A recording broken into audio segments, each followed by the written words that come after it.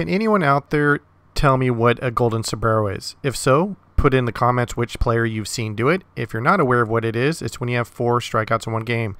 Here's Jose Marmolejos. Here's his first strikeout looking. There comes his second strikeout swinging. And he has to run this one out at first. He's still on base, but it's considered a strikeout. Here's his third one swinging. And then in the bottom of the eighth, here it comes. Number four, looking. Congratulations to Jose Marmolejos. You have now earned the golden sombrero. Four strikeouts in one game. Dubious honor.